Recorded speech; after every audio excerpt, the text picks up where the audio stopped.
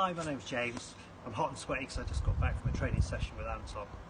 I've been training with Anton now for just over a year. Um, I started training with him because I was a bit overweight, I was unfit, and my flexibility was really poor, and I was working in quite a stressful job. So I thought I needed to take some uh, some pretty serious action. So I signed up with Anton, and I've been training twice a week now with Anton, uh, and it's uh, transformed uh, me both physically and uh, controlled my stress. And one of the most amazing things is how much more flexible I am now than I was uh, a year a year ago.